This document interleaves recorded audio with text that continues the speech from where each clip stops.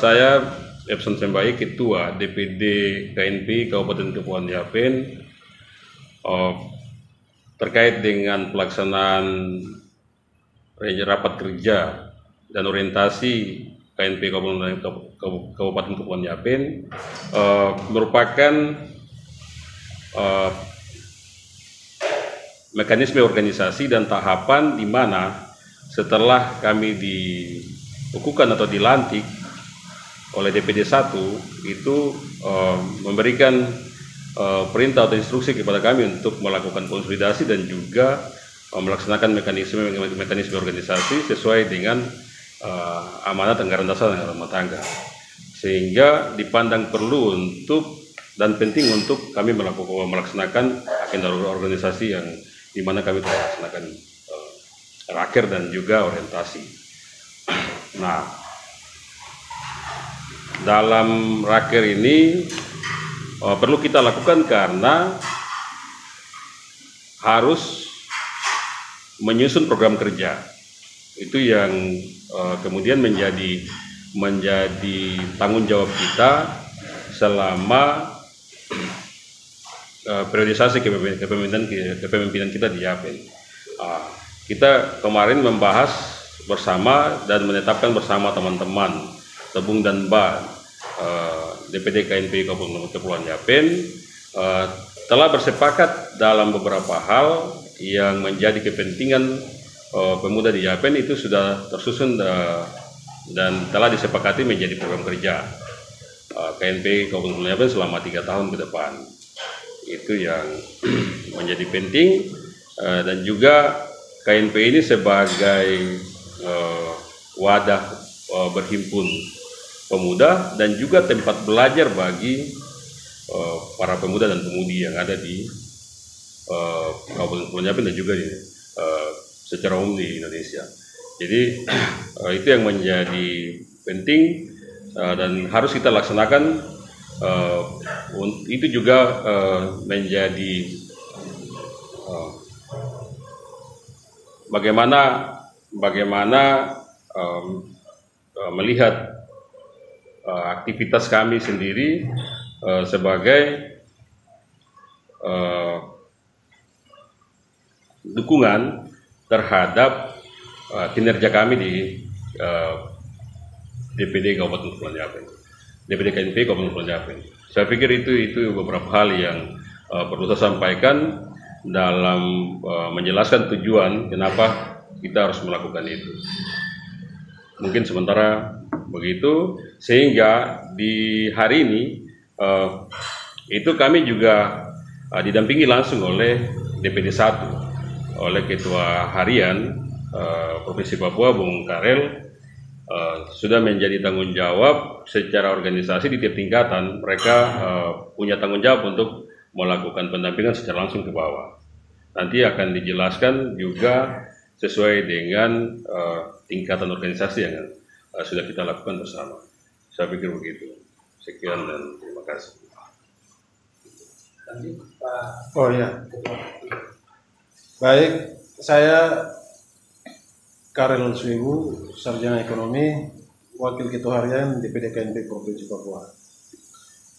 Kami DPD Papua mendukung penuh atas pelaksanaan raker rehabilitasi DPD KNT Kabupaten Kepulauan Yapen bahwa ini adalah tanggung jawab moral amanah organisasi yang harus dilaksanakan dalam priorisasi berlangsung.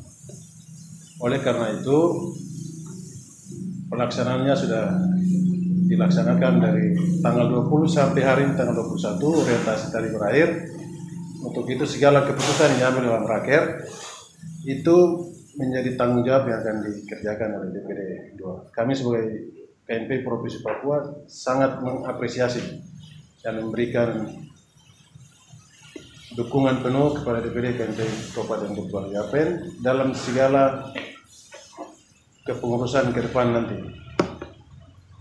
Untuk itu, dalam hasil keputusan raker kemarin ada beberapa poin yang penting termuat dalam hasil itu.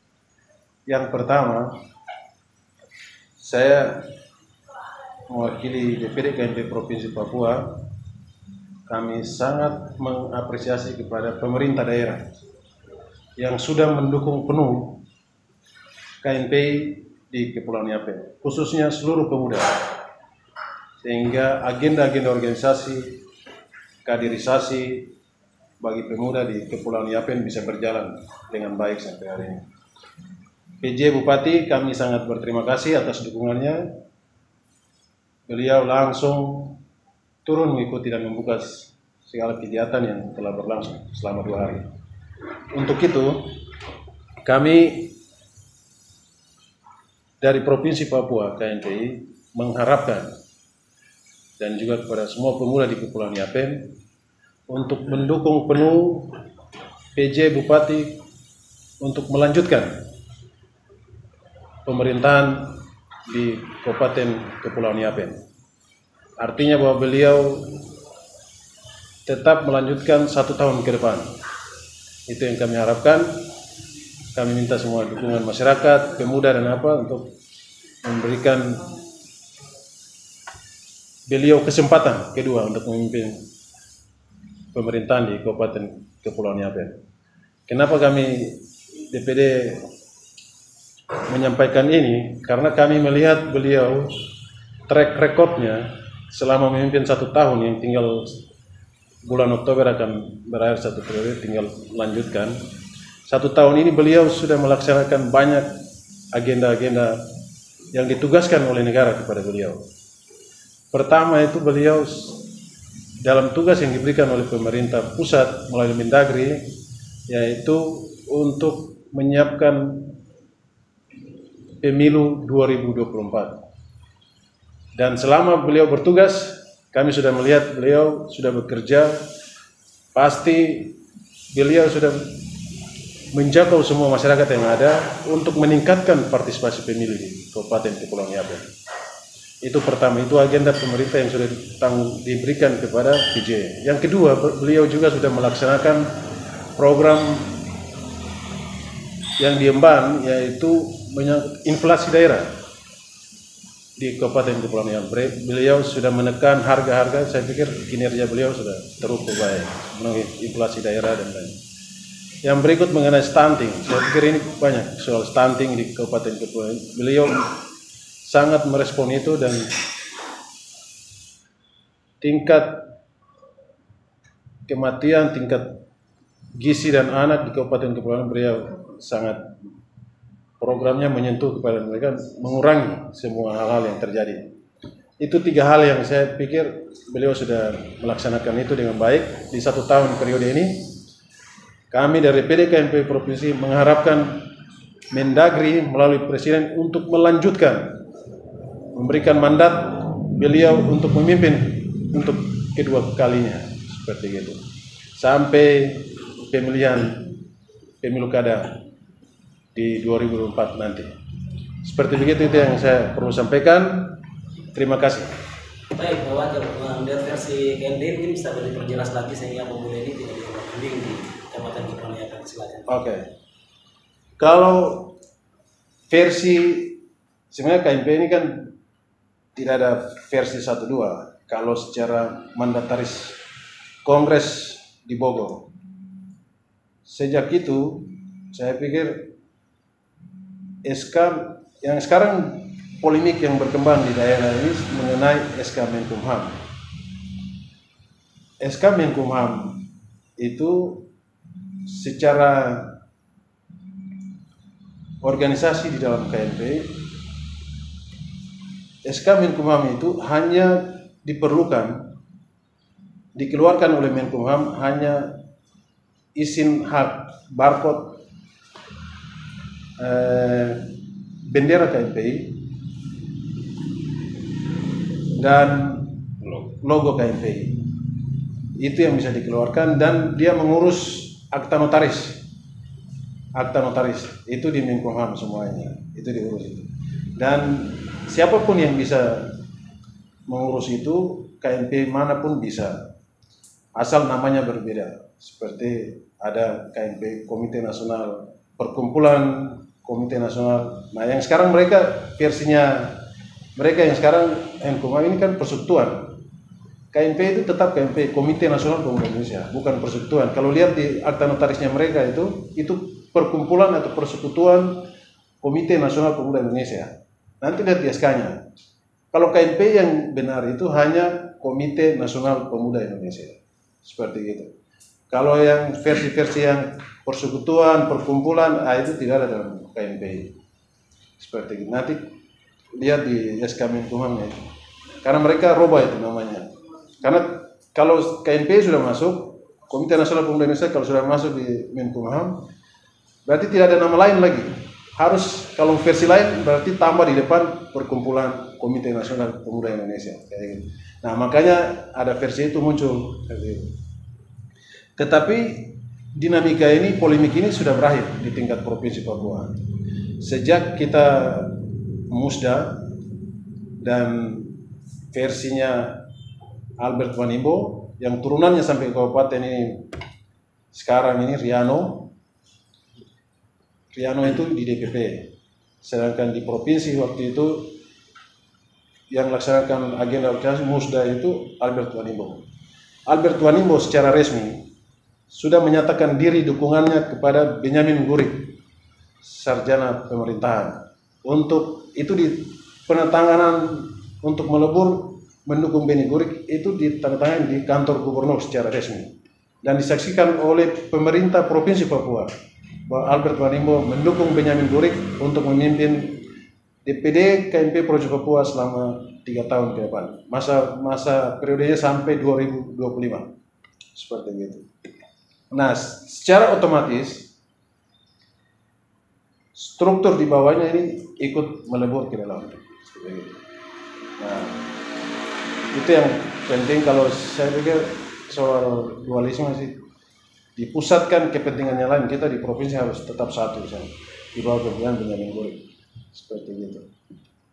Dinamika di pemuda ini ada kepentingan politik lain. Tapi kita harus bawa murni jangan KMP ini dibawa ke politik praktis tapi murni harus aman organisasi di, dijalankan keputusan DPP itu kita harus jalankan di provinsi dan semua kabupaten. Itu menyangkut dan sampai hari ini kita lihat tidak ada pemerintah provinsi sudah dukung, kabupaten juga malah sudah dukung semuanya. Apalagi kemarin di Yapen, Bupat PJ kan sudah datang resmi. Berarti secara sah KNP di bawah kepemimpinan Epson Simbai beliau yang melaksanakan amanah organisasi DPD KNP Kepulauan Yapen yang sah secara hukum karena dihadiri oleh Pemda Kabupaten Kepulauan Yapen PJ Bupati seperti begitu Baik, nah, Edson, mungkin salah satu hasil yang akan dikerjakan dari raker ini apa yang fokus utama? Iya, Pak. Hasil dari raker ini kita fokus utama masih masih sementara eh, menjalankan roda organisasi, eh, yaitu eh, masih tersisa tujuh, eh, 14 distrik, maaf. Iya, 17. Ya, kita sudah lantik 5 distrik. Ini agenda organisasi ya, harus melakukan konsolidasi untuk eh, semua distrik. Karena itu kita perlu memberikan uh, SK kepada pengurus definitif di tingkat distrik. Karena kain uh, pemuda ini uh, lebih banyak berpusat pada tingkat distrik, sehingga itu yang menjadi target kerja.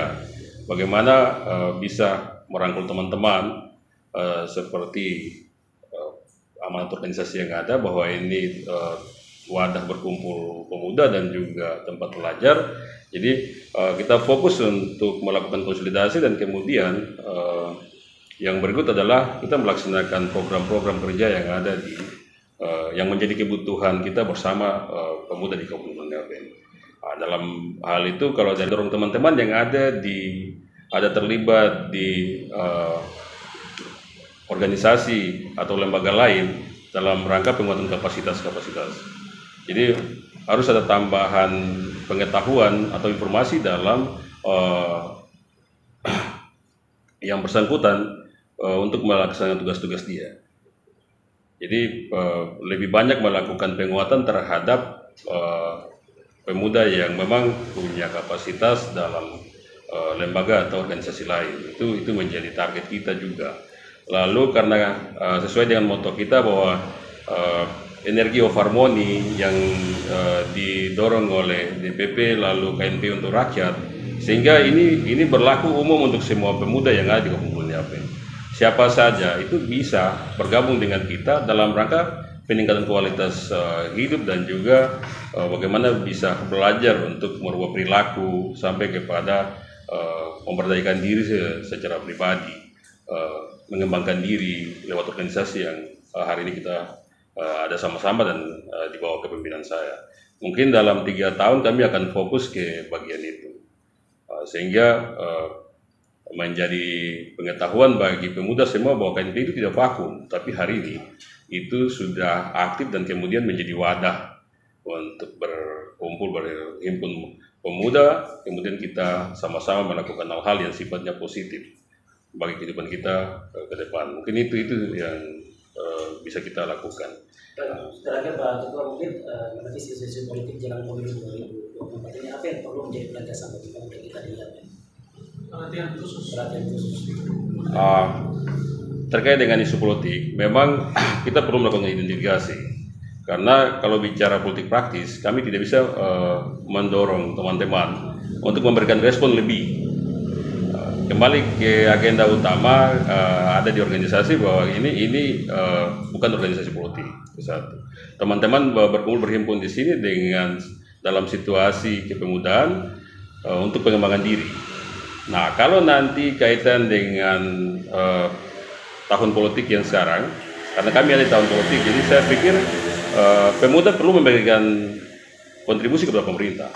Nah, salah satu bagian itu kami akan ikut dalam proses itu. Jadi kalau nanti terlibat misalnya eh, mereka banyak atau ada di posisi penyelenggara atau pengawas pemilu, silakan dia melakukan aktivitasnya sesuai dengan aturan yang berlaku di lembaga-lembaga itu. Kami di sini itu hanya eh, melakukan pembinaan, lalu melakukan pengembangan kapasitas terhadap yang bersangkutan, sehingga waktu dia ada di lembaga atau dia ada di organisasi yang eh, eh, dia beraktivitas itu dia mampu untuk melakukan aktivitas itu dengan baik.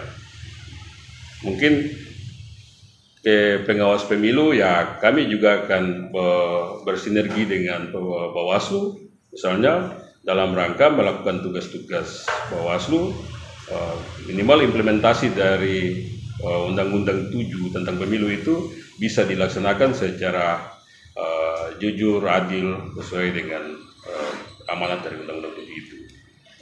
Yang saya pikir eh, saya bisa menjawab atau memberikan tanggapan. ada tambahan. Jadi tambahan dari kita eh, sesuai dengan eh, komunikasi kami dengan pemerintah daerah. Sebenarnya kami kami dalam melaksanakan raker kemarin ada s- eh, rekomendasi. Salah satunya adalah meminta kepada presiden lewat eh, Menteri Dalam Negeri seperti apa yang disampaikan oleh Bung eh, Ketua Harian dari provinsi bahwa eh, kami mendukung penuh pelaksanaan tugas dari eh, PJ Bupati Kabupaten Kepulauan Yapen. Kami berharap bahwa beliau bisa melaksanakan tugas ini sampai pada pelaksanaan pemilu tahun 2024. Karena kontribusinya sudah, menurut kami itu sudah sangat sesuai. Karena itu kami juga pemuda di, eh, sangat diperhatikan. Saya pikir itu yang bisa sampaikan. Sekian dan terima kasih.